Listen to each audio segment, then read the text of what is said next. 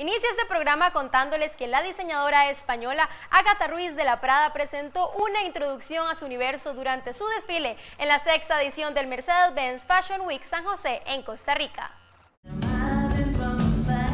Bueno, como es mi primera vez, pues es un poco una mezcla de una presentación de Agatha Ruiz de la Prada en Costa Rica. Yo en principio, no sé, nunca pensé que iba a conocer tantas veces Costa Rica, ¿no?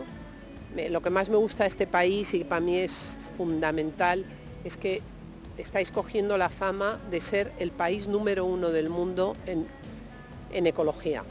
Y yo soy una enamorada de la ecología desde siempre, entonces para mí eso es una cosa mágica, ¿no? Bueno, hoy en día todo va muy deprisa y fíjate, yo esto, esto del mundo, el mundo de la moda está siendo un mundo eh, pues complicado y, cuando vas a un sitio a presentar tienes que adaptarte un poco a las circunstancias. Yo hace poco, en 10 días, presenté nueve desfiles en tres continentes y además un ballet en Uruguay, con el ballet del Sodre, que hice La Vía Durmiente, que eran 300 personas vestidas por Ágata.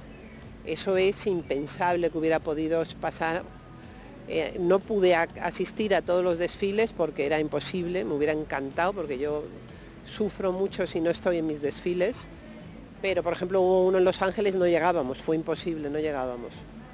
Y entre mis hijos ahora me están ayudando mucho, Iván.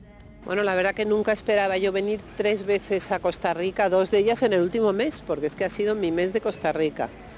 Eh, la primera vez que vine a Costa Rica vine a una conferencia de diseño que se llama FID, que era espectacular, fue aluciné porque yo no tenía ninguna expectativa sobre Costa Rica. Me acuerdo que una amiga mía hace mil años me dijo que había venido con su familia a Costa Rica y yo pensé, caray, qué exótico.